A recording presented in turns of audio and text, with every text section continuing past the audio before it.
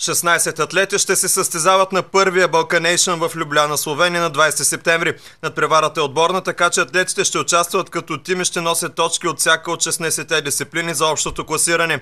Конкуренти на тима ни ще бъдат селекциите на останалите балкански държави, както и сборен тим на Обединени арабски емирства. При мъжете на 110 метра с препятствия за България ще бяга Милен Пасков. В края на сезона вече е трудно да се постигат високи резултати. Просто искам за пореден път да защитя честа на България. Ще дам всичко от себе си. Очакванията ми са да се върна без контузия и да започна подготовка за новия сезон, сподели за телевизия Стара Загора Милен Пасков.